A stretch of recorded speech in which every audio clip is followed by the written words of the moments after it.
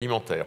Une question justement est posée au ministre délégué au commerce extérieur, à l'attractivité et aux Français de par Monsieur Frédéric Maillot. Merci Monsieur le Président, Monsieur le Ministre, mes chers collègues. Leader du panafricanisme, précurseur de la lutte féministe, avocat du patriotisme économique africain, celui qui a refusé jusqu'à son dernier souffle d'être la marionnette de l'Occident, celui qui a crié que mon Afrique n'a aucune dette, modèle et père spirituel source d'inspiration de la lutte pour l'émancipation des peuples colonisés. Vous l'aurez compris, je vous parle de Thomas Sankara, un des plus grands chefs d'État que l'Afrique ait connu, président du Burkina Faso, pays de l'homme intègre.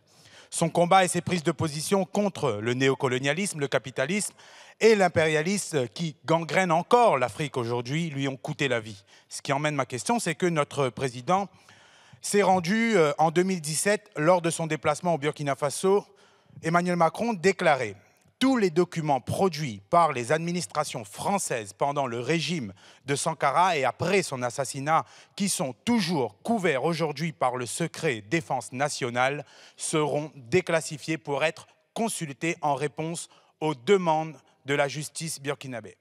Si dette il y a, c'est celle de la transparence sur l'assassinat de Thomas Sankara.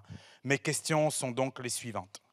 Monsieur le ministre, si l'État français a déclassifié des documents confidentiels défense, pourquoi ceux couverts par le secret défense nationale n'ont pas été restitués?